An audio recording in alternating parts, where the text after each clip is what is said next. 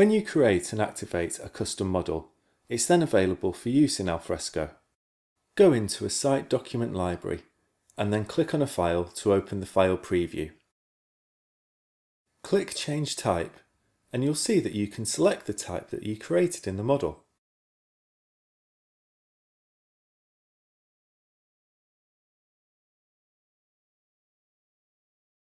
Once selected, the type's properties are displayed against the file. Click the Edit icon and you can edit the details of these properties as required and then click Save.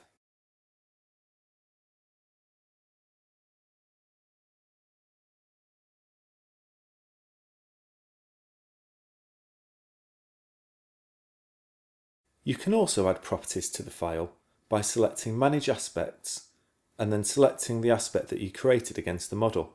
Both default and custom aspects are displayed here.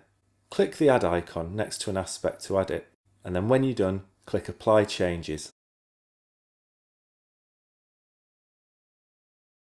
And you can see that these properties are added to the file.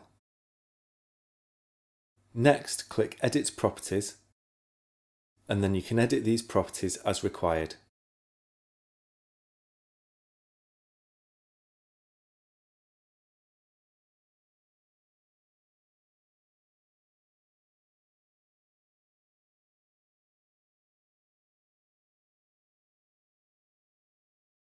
When you're done, click Save.